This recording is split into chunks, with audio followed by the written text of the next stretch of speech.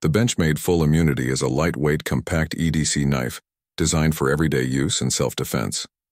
It features a 2.5-inch Wharncliffe blade made from CPM M4 steel, which is known for its edge retention and durability. The blade is coated with Cerakote for corrosion resistance and a non-reflective finish. The full immunity has a textured aluminum handle with a deep carry pocket clip for discreet carry. The axis lock mechanism provides secure blade lockup and easy one-handed deployment. The full immunity is a well-rounded EDC knife that is suitable for a variety of tasks, from opening packages to self-defense.